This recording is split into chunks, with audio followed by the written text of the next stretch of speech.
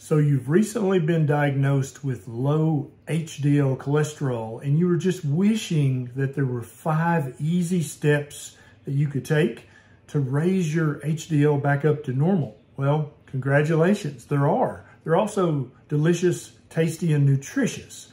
I'm Dr. Ken Berry, a family physician, and in this video, I'm gonna tell you five simple steps to get that HDL cholesterol back up to that high, healthy level that you've been craving. There's been lots of debate in the cholesterol world lately. You may have noticed this, but what I, it's very important for you to understand is that having a high HDL cholesterol is far more protective than having a high LDL cholesterol is dangerous. Most of the research seems to show that a high HDL cholesterol is 10 times more important than having a low LDL cholesterol. So stop worrying so much about your LDL cholesterol and focus on raising your HDL cholesterol. There's a lot of false advice out there on the internet about how to raise your HDL cholesterol. Most of it's given by well-intentioned, earnest people, gurus, practitioners who believe in their heart of hearts that a plant-based diet is the healthiest diet for human beings to eat.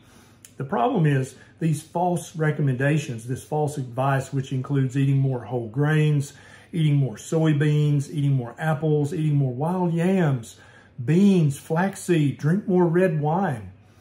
Uh, when you start looking at the research behind these things, it's trivial at best, epidemiological at worst. All of these things are very high carbohydrate foods and therefore they're going to fly directly in the face of evidence supported tip number one.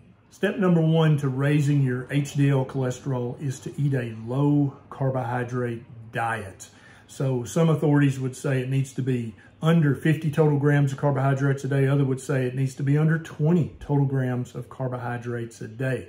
Regardless of who's right there, the truth of the matter is, as supported, supported by much meaningful research, is that eating a low carbohydrate diet is going to raise your HDL cholesterol. Indeed, some of the same research, some of which is even randomized and controlled, shows that eating a high carb diet is without fail going to lower your healthy, good HDL cholesterol.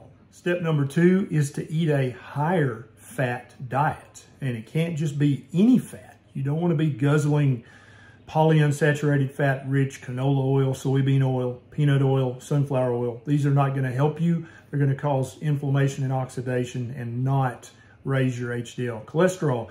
No, you want to focus on getting lots of good, healthy, saturated fat and also mono unsaturated fat. So great sources of this that you can add to your diet in portions as big as you want them to be is butter, bacon, full fat, real fermented cheese, cod liver, and lard. And basically any red meat is going to be a great source of saturated fat and mono unsaturated fat, both of which are going to help you raise your HDL cholesterol.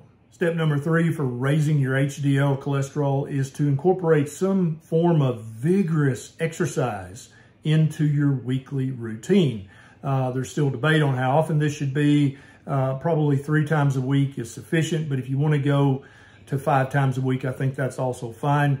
But the research shows that this needs to be vigorous. So going for a walk, uh, walking on the treadmill, these sorts of things are probably not going to do it.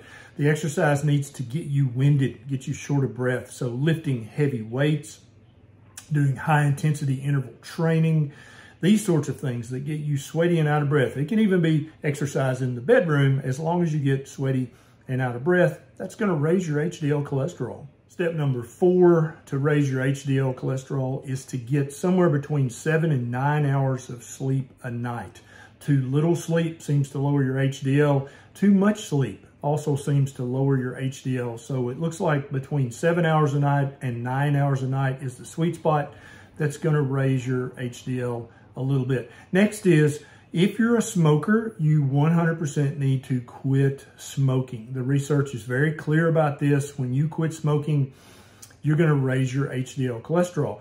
But if you're like, well, can I vape instead of smoke? Uh, yes, yes, you can. There's actually a study that shows that if you switch from smoking cigarettes to vaping, you still get the benefit of raising your HDL cholesterol.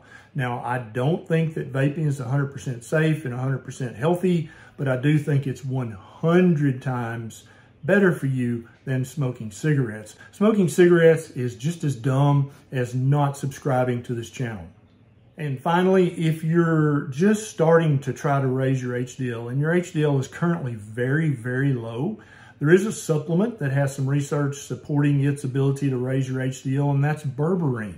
I'm going to put a link down in the show notes to a good quality berberine that you can take for one to six months while you're focusing on the five easy steps that are going to permanently raise your HDL back up to normal. You can use the berberine as a temporary crutch until you fix this problem yourself. Now, I know some of the things that I've said in this video may sound like crazy blasphemy to you. And that's why I've included multiple research links to each of the steps down in the show notes below so that if you don't believe me or if your doctor doesn't believe me, they can look it up and read it for themselves. Your ultimate goal here is to uh, wind up with an HDL cholesterol of 60 milligrams per deciliter or higher. If it's any less than that, then you're at a little bit increased risk for heart attack and stroke. And the more it is below that 60 cutoff level, the higher your risk of heart attack and stroke. A lot of people don't know this information, including a lot of doctors. And so please consider sharing this video to help me teach the whole world how to raise their HDL cholesterol in five easy steps. This is Dr. Berry. I'll see you next time.